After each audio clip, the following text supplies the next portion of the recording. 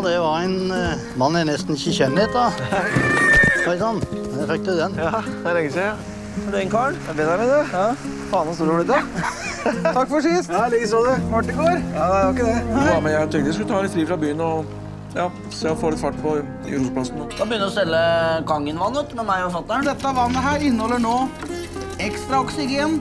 Ja. Det er høyt i pH.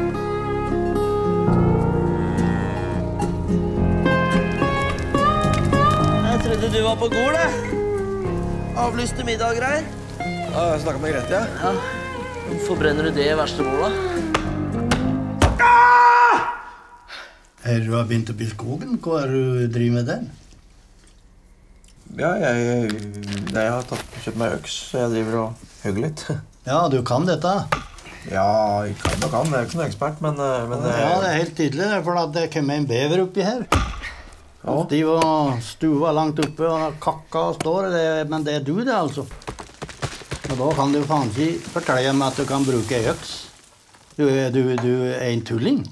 Nei. Faen, du, du driver som en gærning. Ja, men jeg har jo tenkt Og, og når du får eh, sprekker og sår inni vann, og da er det vondt, vet du, og da Det tåler ikke du. Men det er jo jævla bra, da. For da, da, da er han jo eh, blir jo en ende på galskapen din. Jeg skjønner at man må gjøre akkurat som alle andre gjør. Det- Nei da, du må ikke gjøre som andre gjør, men du må gjøre som folk.